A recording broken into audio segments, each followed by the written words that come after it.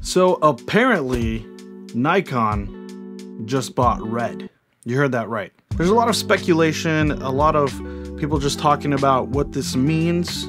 I personally don't know what that's going to mean for the future of Nikon or Red. Quite frankly, they could probably just still be both separate entities just under one roof. What's even crazier is that two years ago, Red sued Nikon because they supposedly stole their compression rates or whatever when it came to compressing files. And then the case was simply just dismissed, just gone and but then Nikon just went and did a big bold move after that and was just like, you know what, we just we're just gonna buy red. And you know what, there's a lot of things that can be said about that, but in today's video I kinda want to talk about some of the speculations, but then also what really could happen now that Nikon owns Red. Nikon's acquisition of Red makes it a significant milestone for the video camera industry. For years, Red has been synonymous to cutting edge technology and just making really high end, good quality cameras. I mean, they were on the Netflix approved cameras for a very long time, probably one of the first cameras outside of Arri Alexas. But now, by joining forces with Red, Nikon now has access to the digital expertise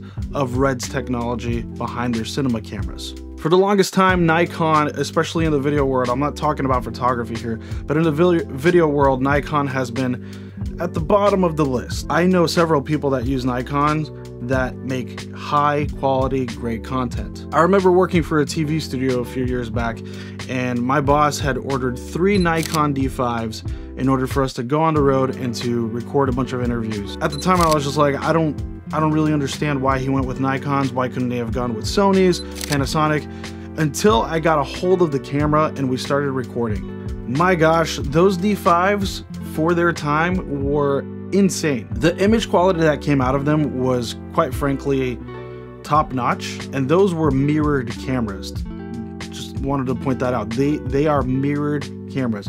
Nikon has a place in the video world, but it was always down at the bottom. With their acquisition of Red now, what does that mean for creators? There's a potential here, there really is a potential here to bring Red's technology into the Nikon camera. Imagine a world where Nikon DSLRs and Nikon mirrorless cameras are capable of capturing Red quality footage with all that dynamic range, color accuracy, and all the detail that Red cameras are known for. If that is something that's in the pipeline, that is actually really exciting because it could be a more affordable option than buying a red camera. Buying a Nikon camera might be the new budget friendly red camera.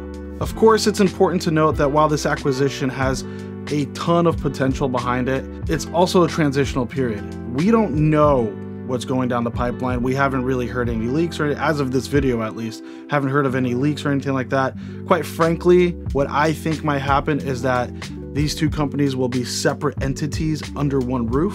Maybe they'll dabble a little bit with putting each other's technology in each camera, which I don't understand why they would put any of Nikon's tech in red cameras, but for sure, I can see Nikon grabbing a few things from Red in order to implement into their cameras. But it'll be fascinating to see how Nikon and Red collaborate and how they work together and what products that they come out with, whether it's cameras, lenses, just this whole cinematography world is now going to be way more exciting. Nikon is definitely trying to get in the game along with Sony and Canon. All right, well, that's it for today's video. Heard about this news, wanted to make a video about it. Um, this is a new type of video. If you like this type of video, let me know in the comments below. Tell me what you think. What do you think Nikon is going to bring Red's technology into their cameras? Are they going to be two separate entities? Let's start a discussion down in the comments below. That would be super awesome. Hit the like button if you like this video. Subscribe if you haven't already. We have a ton to talk about. Hit the notification bell so that you're notified when I post more videos. And I will see you in the next video.